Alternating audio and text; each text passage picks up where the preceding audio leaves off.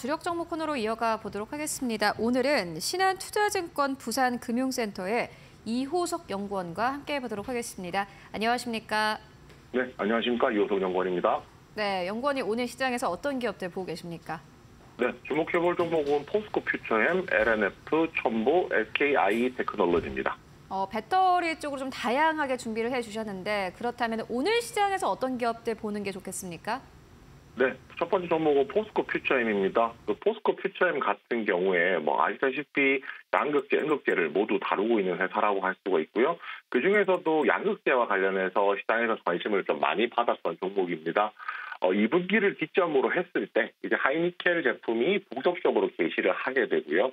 당연히 개시를 하게 되니까 물량 효과가 본격화, 본격화될 전망을, 전망에 있습니다. 2023년 올해, 올해 양극재 출하량이 약 7만 톤 정도 예상이 되고 있고요. 2022년 작년 대비했을 때 약 102% 정도 성장할 것으로 예상을 하고 있습니다.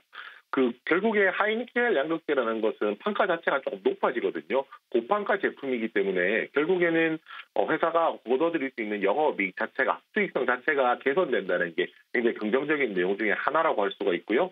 또 이제 5월을 기점으로 했을 때 리튬 가격이 반등을 하면서 양극재 그 판매 양극재 판매 단가 자체가 떨어지던 추세가 어느 정도 하반기에는 완화될 것이라는 기대감이 있다는 점도 굉장히 좀 긍정적인 내용이라고 할 수가 있습니다.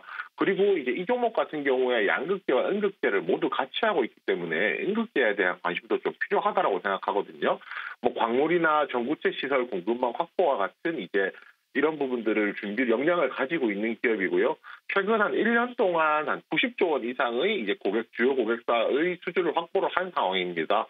특히 이제 그 중에서도 응급제에 대해서 좀 포인트로 삼을 것은 응급제 업체들 중에서 탈중국화 그러니까 미국에서 중국 외에 이제 중국 외에 업체들이 응급제를 하는 업체들이 제한적이거든요 숫자가 그렇기 때문에 국민 응급제 시장에 대한 수주도 기대가 어느 정도 가능하다는 게 좀 메리트라고 할 수가 있고요. 음극재 capa 같은 경우에는 2022년 작년 기준으로 8만 톤에서 목표치는 2030년까지 32만 톤, 약 한 4배 정도 더 이제 증설을 할 계획을 가지고 있다는 것이 또 포인트라고 할 수가 있습니다. 마지막으로 이제 2030년까지 전구체 44만 톤 목표로 증설을 하고 있는데요. 어, 경쟁사 에코프로 BM이라든지 L&F 같은 경우보다 그 그런 경쟁사들 대비했을 때 더 높은 내재 내재 화율을 시, 그 시, 시연할 전망을 가지고 있기 때문에 뭐 경쟁사들 대비했을 때도 포스코 퓨처엠에 충분히 뭐 주목해볼 만한 가치가 있다라고 판단을 하고 있습니다. 그리고 두 번째 종목은 SKI 테크놀로지인데요. 이 회사는 분리막으로 뭐 유명하다라고 할 수가 있습니다. 1분기에 뭐 매출액과 영업, 영업이익이 적자를 적자가 나왔는데요. 매출액도 감소했고 영업이익은 그 마이너스 37억으로 적자가 지속이 됐습니다. 신규 사업 부분을 제외한다라고 하면 오히려 분리막 시장에서 영업이익이 18억 원 정도 나왔고요. 오히려 흑자 전환하는 모습 보였다는 것도 뭐 좋은 내용이라고 할 수 있습니다. 3분기에는 전사가 흑자가 예상이 되는 가운데 주요 공장 가동률이 70% 정도로 높은 수준을 유지를 했거든요.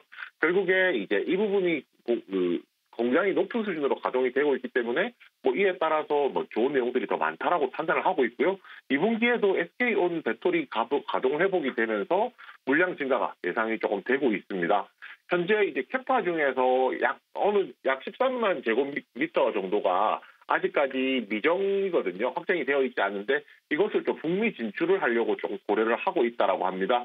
IRA로 인해서 분리막을 미국 현지 공급하는 거에 대한 니즈 자체가 굉장히 커진 상황이고요. 그 외에 또 폴란드나 중국에 선제적인 증설을 해놓은 상황이기 때문에 고객사의 늘어나는 물량에 대한 수요를 이제 대응력을 높여서 북미 증설 이전에도 이제 굉장히 그 원활하게 분리막을 공급을 할 수 있을 거라고 예상을 하고 있습니다.